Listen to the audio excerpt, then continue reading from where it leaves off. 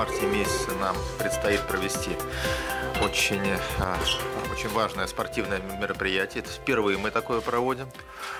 Хочу сказать, что спорт, конечно, а, любой профессиональный спорт начинается с любительского.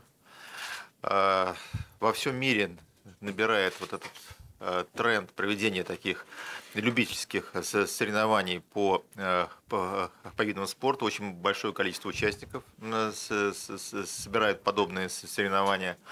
В этих соревнованиях участвуют либо бывшие профессиональные спортсмены, либо совсем начинающие любители. Э, э, проводятся в различных возрастных э, категориях. Буквально в эти даты, когда будут проведены первые вот, всероссийские игры среди любителей, будет проведен чемпионат мира по конькобежному спорту в Крылатском, тоже среди любителей. Поэтому мы считаем, что это направление действительно очень важным. И хочу поблагодарить и Александра, Александра Владимировича за, за поддержку этой инициативы, потому что, ну, во-первых, Александр сам э, занимается спортом, очень активный спортсмен, занимается триатлоном. А вот, поэтому и в Ижевске действительно очень большое внимание уделяется э, развитию спорта, поэтому мы, я думаю, что это такое первое соревнование у нас, а летом мы проведем уже все уже уже всероссийские игры э, по летним видам спорта. Поэтому я знаю, что уже заявилось большое количество участников. Большое количество участников. Мы будем этот тренд э, поддерживать. Очевидно, что э, любительский спорт в России, в частности, это набирающий э, такой обороты тренд.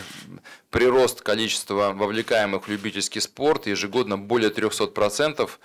Э, мы понимаем, что это не просто ЗОЖ, как таковой это экономика, причем экономика очень большая. Ежегодно наши любители, э, и я среди них был, в числе их, э, за рубеж вывозили миллиарды рублей, э, участвуя в соревнованиях по разным самым видам спорта зимой и летом.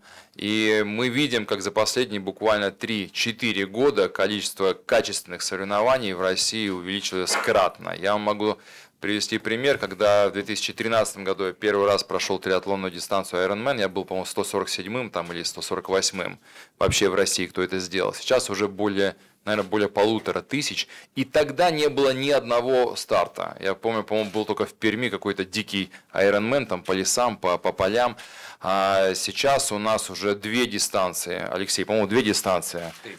Э, Титан делает, Iron Star и, и и А1 Санкт-Петербург. Три дистанции Ironman, уже много дистанций Half Ironman, Олимпийские, переплываем Волгу, а, значит, ну, беговые, собственно, соревнования, их огромное количество. Повторюсь, это, это огромная экономика. Я, как глава э, республики, Павел Анатольевич, как министр спорта, заинтересованы, чтобы наш турист оставался в России, тратил деньги здесь и получал ответ на свой запрос – как э, спортсмена. Поэтому э, это первая причина, почему мы делаем. Вторая причина, посмотрите внимательно, любительские игры э, уже проводятся в формате Олимпиады. В Новой Зеландии э, десятки тысяч по летним видам спорта прошла Олимпиада. Среди любителей десятки тысяч спортсменов и зрителей э, приняли участие, поэтому можно сказать, что вот такое объединяющее соревнование, я бы вообще назвал чемпионатом России среди любителей – оно первое, это проба пера. Я уверен, что при э, поддержке Министерства э, спорта Российской Федерации э, это направление будет развиваться, и регионы впоследствии будут бороться за право проведения вот зимних и летних видов спорта. Топ-чемпион Удмуртии это было престижно и очень круто. Это почет, уважение, и это огромная конкуренция. Почему это нужно? Мы сейчас зависим от информационной внешней повестки. Захотят пустят на игры, не захотят, не пустят на игры. Причем даже особенно не, не, не спрашивая, не объясняя причины и так далее. Вот чтобы нам, я считаю, чтобы меньше быть уязвимыми в этом смысле, нужно повышать уровень а, и качество своих а, соревнований. Собственно, что мы и вот вместе с Министерством а, спорта делаем. Биатлон всем интересен. Многие хотят попробовать. Но вы знаете, это оружие, соответственно, попадаем под закон об оружии, и достаточно большие ограничения с этим видом спорта есть. Вот. Э, ну, желание есть, у многих все хотят попробовать. И вот Александр Владимирович уже сказал, в декабре месяце мы провели очередную жесткую винтовку, где в рамках этой, этих соревнований были, были проведены первые любительские игры по биатлону, э, любительские соревнования. Э, Калашников Биатлон Фест. Многим понравился, все хотят продолжить, поэтому у нас э, есть желание дальше двигаться в этом направлении. Вот. Э, что касается оружия, э, так как э, настоящие винтовки мелкокалиберные, калибр 5,6, они подпадают под закон об оружии, Здесь мы воспользовались другими винтовками. У нас на концерне Калашникова есть прекрасная винтовка. Она максимально унифицирована с этой боевой винтовкой B7-4. Называется B7-5. Пневматика газобаллонная, калибр ее там 4,5, э, силы, силы выстрела достигает не более 7,5 джоулей.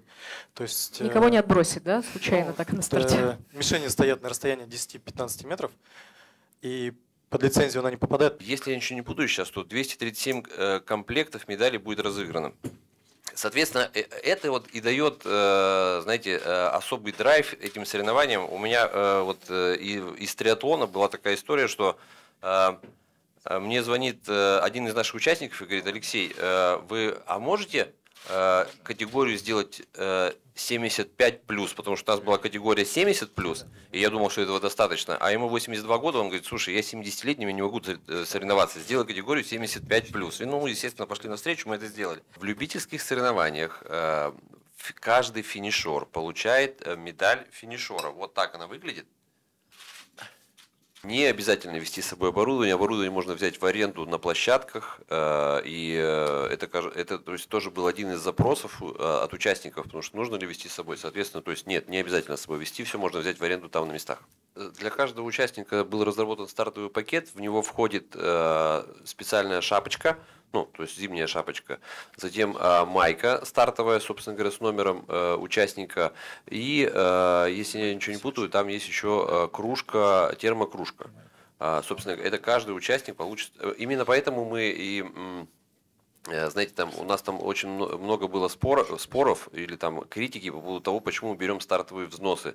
А, с участников. Именно поэтому мы и берем стартовый взнос, потому что то есть, сувенирная продукция ну, стоит денег, и это абсолютно нормальное явление, то, что а, ну, когда ты платишь, у тебя появляется ценность. Когда у тебя э, это бесплатно, это такая история очень сомнительная, скажем так. Ну, во-первых, стартовый взнос это вообще это, это, это, это, это нормальная практика. Все любительские такие, скажем, соревнования и э, везде, и, э, и за границей, везде, они предполагают стартовый взнос. Он идет на организацию самого мероприятия. Безусловно, конечно, стартовый взнос в полном объеме не окупает проведение соревнований. Но если это, если это развивать, если делать его более популярным, в конечном итоге, в принципе, что соревнование должно само по себе само окупать. Центр индивидуа, на котором пройдут э, часть соревнований, на котором проходила ижевская винтовка, я как спортсмен могу оценить, что, конечно, покрытие а, в очень классном состоянии э, и по освещению, конечно, нам предстоит, наверное, в будущем а, реконструировать а, основные сооружения, но в целом и этот комплекс, и стадион «Купол», находящийся в черте города, и другие объекты, они полностью готовы на высоком уровне провести э, заявленные соревнования. У нас здесь сомнений нет. Инфраструктура для проживания и вопросы логистики тоже у нас все решены. Я еще раз повторю, мы э, провели достаточно большое соревнование, лыжный марафон, и обеспечили подвоз там, спортсменов э, на шаттлах, ну, на автобусах. Поэтому здесь, я уверен, у нас никаких проблем не возникнет. На самом деле цель не, не столько, чтобы глава или чиновники официально участвовали, цель, чтобы мы провели на очень высоком уровне это мероприятие. Уверен, у него большое очень будущее.